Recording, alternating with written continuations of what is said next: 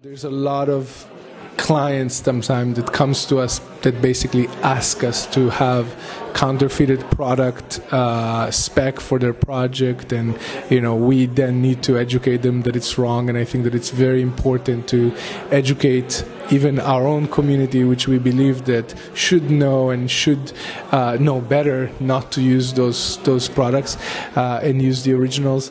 Uh, so you know i'm i'm just so happy that this organization exists